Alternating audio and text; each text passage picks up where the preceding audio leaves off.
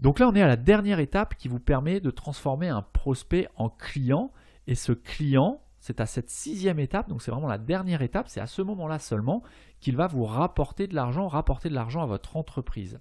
On va maintenant voir les deux étapes bonus qui vont permettre à ce prospect qui est devenu client de vous recommander. Donc justement, l'étape numéro 7, c'est l'étape de la recommandation. Ce n'est pas parce que vous avez des clients, donc des personnes qui sont passées à l'achat, que votre travail est terminé. Des clients mécontents vous le feront savoir et impacteront directement vos, étapes d'existence et d'engagement envers, d'autres prospects. Euh, je ne sais pas si vous, avez déjà entendu ça, mais on a l'habitude de dire qu'un client satisfait vous rapporte nouveaux clients, alors qu'un seul client insatisfait vous en enlève 10. Bon, sur les chiffres, je suis plus très sûr de moi, mais c'est l'idée. L'idée, c'est quelqu'un qui est vraiment insatisfait, il va le crier sur tous les toits, alors que quand on est satisfait, on ne le crie pas forcément sur tous les toits. Donc c'est très important de ne pas avoir de clients mécontents.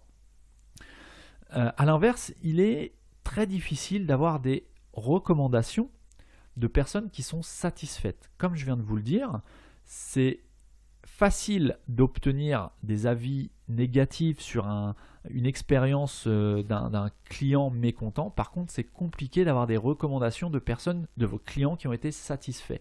Donc, dans un premier temps, il s'agit de recommandations, de demander des recommandations, que ce soit des, témoignages spontanés, des études de cas, euh, des commentaires positifs. Vos clients qui ont tiré une vraie valeur de votre produit ou service, n'hésite pas à le recommander autour d'eux. Il faut vraiment les inciter à parler de vous et de leur satisfaction surtout.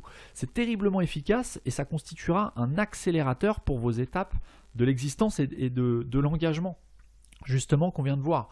Donc il n'y a rien de mieux qu'une recommandation d'une personne lambda ou d'un ami, d'où l'importance d'animer la communauté qu'on a créé. Donc une fois que vous avez créé votre communauté, que vous avez euh, franchi toutes les étapes qu'on vient de voir, il va falloir animer cette communauté. Et enfin, on arrive à la dernière étape euh, qui va faire de vous euh, un as du marketing, l'étape de la promotion. Dans l'étape qu'on vient de voir, de la recommandation, vos clients ont une action plutôt passive par rapport à la promotion de vos produits ou vos services. C'est-à-dire qu'ils vont éventuellement vous recommander, bien que vous les incitiez, c'est pas évident qu'il le fasse, euh, c'est même fort probable qu'il ne le fasse pas. Donc cette dernière étape s'adresse à des clients ou à des partenaires qui vont avoir une action active pour la promotion de votre produit. Et donc bien souvent, vous allez devoir leur proposer une contrepartie à cette action active. Vous allez par exemple leur proposer, c'est très souvent ce qu'on trouve sous le, le nom de programme de parrainage, tout simplement. En échange de la recommandation ou de la promotion de votre marque, vous allez les rémunérer, que ce soit sous forme financière ou de produits ou d'avantages ou de bons de réduction, peu importe. C'est cette action active qui va, profiter à votre marque et qui va, euh, comment dire, qui va aider votre marque à aller conquérir de nouveaux prospects qui, lorsque vous allez suivre les six étapes qu'on a vues précédemment, vous allez pouvoir les convertir en clients. Donc les personnes qui sont dans l'étape que vous allez sélectionner, qui vont arriver à l'étape numéro 8 de la promotion, sont des acteurs de votre tunnel de vente.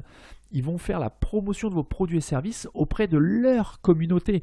Donc là, vous allez pouvoir démultiplier euh, votre, votre impact, puisque ce n'est pas vous simplement qui allez parler à votre communauté que vous aurez eu peut-être du mal à créer, mais vous allez simplement extraire des personnes de votre communauté qui ont été conquis par votre produit et vos services, qui ont une expérience, euh, une expérience positive avec votre marque et vous allez leur proposer eh bien, de, de, véhiculer l'image de votre marque, de vos produits et de vos services à leur communauté. Donc c'est un petit peu ce qu'on pourrait appeler, euh, alors soit dans le monde, dans ce qu'on entend par communauté, c'est pas forcément des communautés euh, web, ça peut être des communautés familiale, tout simplement. C'est pas forcément des influenceurs, c'est ça que je veux vous dire. C'est des personnes qui vont parler autour d'eux. C'est ce qu'on appelle aussi plus communément le bouche à oreille, tout simplement. Il y a deux types de communautés. Soit vous avez les communautés qui sont euh, bah, euh, physiques, réelles, dans la, vie réelle, c'est-à-dire la, famille, les groupes d'amis. Donc vous allez inciter les personnes à en parler euh, à leur communauté. Et vous avez les communautés web, c'est-à-dire les influenceurs. Si par chance, dans vos clients ou dans vos prospects, vous avez des influenceurs, que ce soit sur YouTube ou sur les différents réseaux sociaux, eh bien, vous allez pouvoir solliciter ces personnes pour en parler euh, à leur communauté sous, euh, réserve de, bah, de leur, offrir une contrepartie. À, vous à vous donc ensuite de voir ce que vous pouvez offrir comme contrepartie.